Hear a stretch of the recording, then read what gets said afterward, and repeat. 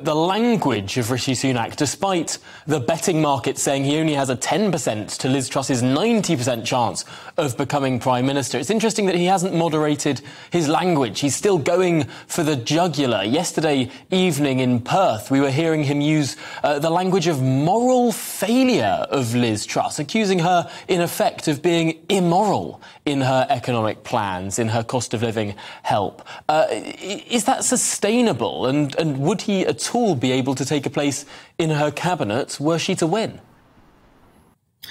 Yeah, I think there's a couple of things here. I think part of it's a slight sense of desperation that clearly the race is getting away from them, and you know they're throwing everything they can at Liz Truss in, an attempt to make it stick. Um, so I think there's a bit of that. I also think there's a bit of a feeling that Liz Truss, from the beginning of this campaign, was seen as the more charismatic contender, the person who sort of is able to energise the room a little bit more. I went to a couple of these hustings myself, and you see there's sort of much more enthusiasm from Tory members towards Liz Truss. She has sort of more energy on the stage. Rishi Sunak perhaps seen as a little bit wooden. So perhaps this sort of language he was using last night. Um, um, accusing her of a moral failing on on not giving out more money to people to help pay their energy bills if she was to become the next prime minister, is an attempt to sort of reverse that and be seen as the more sort of empathetic, compassionate uh, candidate. But yeah, I mean, uh, as you, as you say, at, at this point, um, it, it, does feel like it's going to be quite difficult for him to turn it around.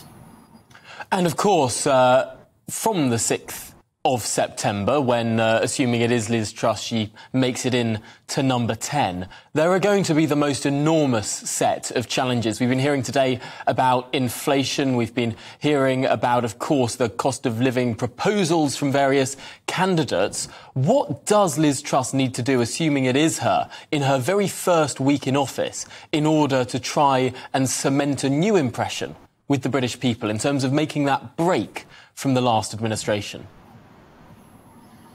Well, I think for Liz Truss, one of the big things is cutting taxes, isn't it? She sees that one of the most damaging things that happened under Boris Johnson's leadership and with Rishi Sunak as Chancellor was this national insurance hike and various other tax rises that have made the government less popular, certainly with uh, 2019 Tory voters. So we think there'll probably be some sort of emergency measures that are brought in pretty quickly um, and Truss's campaign has, has, given us some idea of what that might be. We think there'll be some tax cuts involved. There'll probably be some more help on the cost of living, but it won't come in the form of a cash payment. Um, and we might see some stuff around sort of Whitehall red tape as well, which she's been very keen to talk about. So that that will probably be the sort of first days of her administration. Quite whether it'll be in the first week, I don't know, because there is a sort of certain amount of getting feet under the desk and. Um, trying trying to appoint your cabinet and all of those other jobs that new prime ministers have to do. Um, you know, that said, I think the 1997 Labour government was was over, it was the second day or something, wasn't it, that they made the Bank of England independent. So there mm. certainly is scope to move quickly on these things if if they need to.